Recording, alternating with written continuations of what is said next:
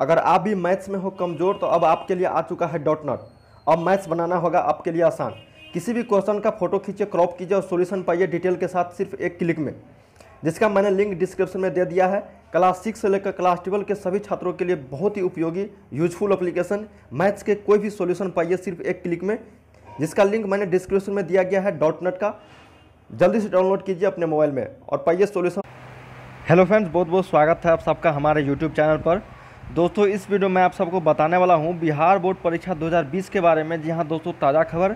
2020 की परीक्षा तिथि कब जारी होंगे, दोस्तों, और टेंथ ट्वेल्थ बोर्ड एग्ज़ाम के बारे में दसवीं बारहवीं छात्र परीक्षा इस दिन से चालू होने वाला है। अध्यक्ष ने लिया है यहाँ पर बड़ा फैसला। जी हाँ दोस्तों, अध्यक्ष आनंद किशोर जो है बिहार बोर्ड के, उन्होंने यहाँ पर बता दिया है आप सभी के लिए। देख सकते हैं यहाँ पे, दोस्तों, पेपर के माध्यम से मैं आप सबको बताने वाला हूँ। वीडियो पर जो लास्ट तक बनी रहिएगा, ताकि आपको पूरी जानकारी मैं दे सकूँ, ठीक है? एग्ज़ाम से रिलेटेड और मॉडल पेपर से रिलेटेड कब आएँगे और कैसे आप लोगों को तैयारी करना और इस चैनल की मदद से आप लोगों को क्या जानकारी मिलते रहेगा, मैं आप लोगों को इस वीडियो में पूरी जानकारी देने वाला हूँ। तो वीडियो स्टार्ट करने से पहले एक छोटा सा रिक्वेस्ट करना चाहूँगा दोस्तों, अगर वीडियो पर आप लोग नए हैं दोस्तों, और अभी तक इस चैनल को दोस्तों सब्सक्राइब नहीं किया है तो जल्दी इस चैनल को सब्सक्राइब कर लीजिए। जो भी छात्र नया जुड़े हैं इस चैनल के माध्यम से, वीडियो के नीचे जो लाल रंग में सब्सक्राइब बटन है, जल्दी से दबा दीजिए और दबाने के साथ दोस्तों एक घंटा भी आएगा, बेल आइकन उसको भी दबा देना।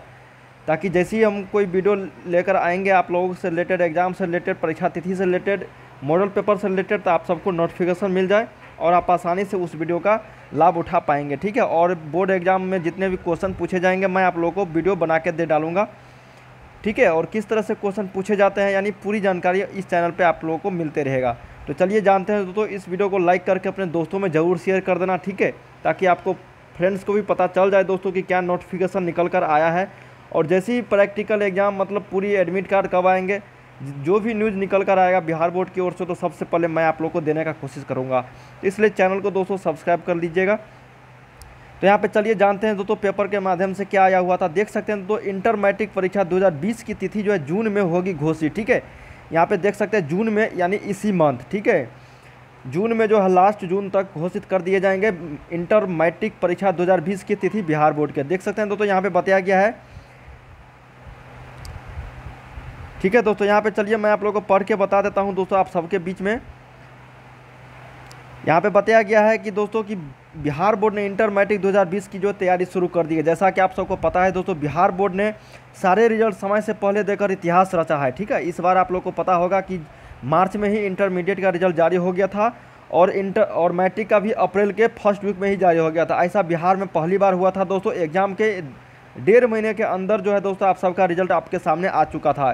तो 2020 में भी इसी तरह से आप सबको देखने को मिलेगा रिज़ल्ट में। तो आप लोगों को कोई टेंशन नहीं लेना है दोस्तों कि कब किस तरह से एग्ज़ाम लिए जाएँगे। मैं आप लोगों को पूरी जानकारी देते रहूँगा इसी चैनल के माध्यम से, ठीक है?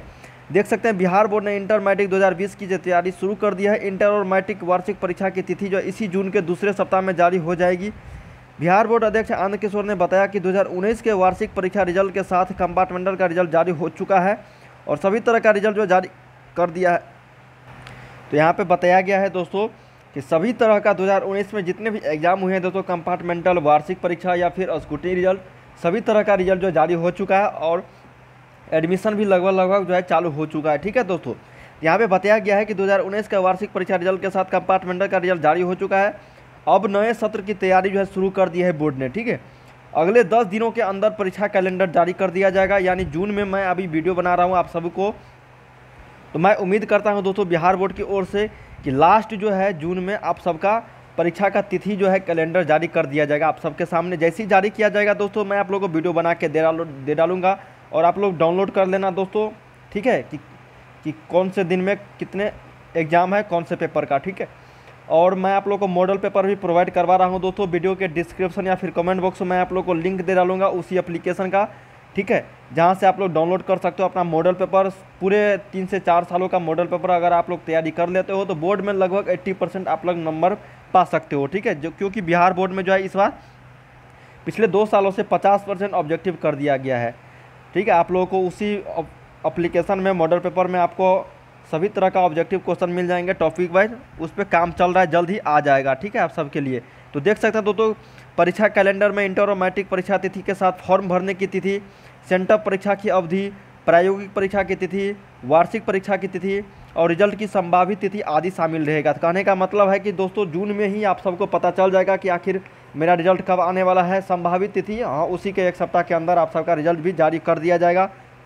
और ये तो आप लोगों को पता ही चल जाएगा दोस्तों कि आपका एग्ज़ाम जो है, फरवरी में किस तिथि से स्टार्ट होने वाला है। वैसे भी मैं आप लोगों को बता दूँ दोस्तों कि आप सबका एग्ज़ाम जो है, परीक्षा तिथि जो है, ठीक है, वो फरवरी के फ़र्स्ट वीक से स्टार्ट होगा और मैट्रिक का भी फ़र्स्ट फरवरी के सेकेंड या थर्ड वीक से स्टार्ट हो जाता है। जैसे ही इंटर का ख़त्म होता है, मैट्रिक का स्टार्ट हो जाता है, ठीक है। तो आप सबको बता दिया दोस्तों कि रिज़ल्ट जो है आप सबको देखने को मिलेगा। तो मिलते हैं दोस्तों नेक्स्ट वीडियो में। देखने के लिए आपका बहुत बहुत धन्यवाद।